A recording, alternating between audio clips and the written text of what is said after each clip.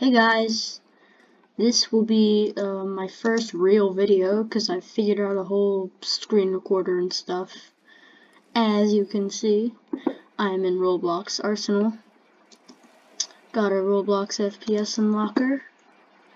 And wow, you can probably hear my PC's fan. It's a good PC, but the fan is super loud. Um, this is just showing you what what's to come on the channel. I finally got everything figured out. And it's been months. Oh, oh, just found a little secret opening. This is my VIP server. If you want to be friends with me, my username is Metalman53682. Anyways, this just showing you. Goodbye.